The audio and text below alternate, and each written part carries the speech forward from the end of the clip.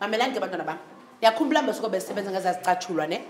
sithe isicatshulwa esisinike izingcaciso sibhalwe ngexesha lanini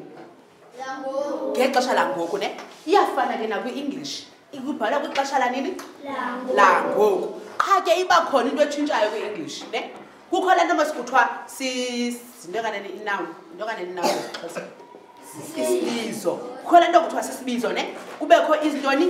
izenzi very good kubakho ii-verbs ii-verbs zintoni sizenzi into eyenzekayo ke xa ubhala ke xesha langoku kwi-english uba uthetha ngento enye isenzi usibhala ngenye indlela uba uthetha ngeento ezininzi isenzi usibhala usibhala ngenye indlela zakunika umzekelo uba sithetha children ichildren ngabantu ngumntana oyi-one ngabantwana abangaphi okay uzawuthi mhlawumbi ukuthi the children xa bedlala uzawuthini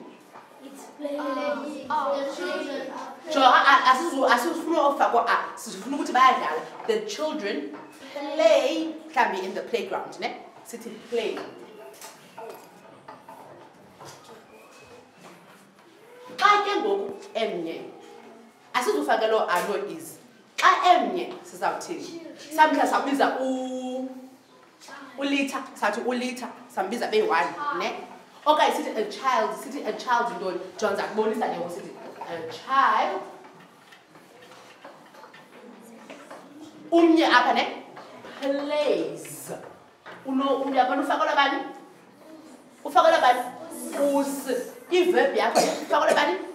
usi xa bebanintsi ivebi yakho iyafakela usi haa xa emnye ivebi yakho iyafakela usi ewe khandi ndifuna omnye umzekelo ke ndithi sawuthini um eh, eh, cow uthini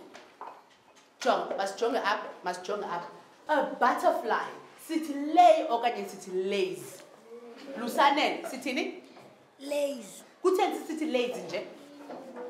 kuba ingakanani zingaphi kuba inye okay uba besithi butterflies besizawuthini babesithi butterflies besizawuthini linamandla besathi butterflies le makhe sizalo sawuzama nje ezimbini then umntu uzazibhalela ezi zinto encwadini yakhe ne okay masiyeke a butterfly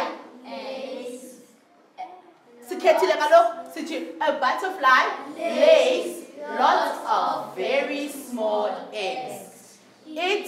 usually xa sithi it usually u-it lo zinto ezingaphi yinto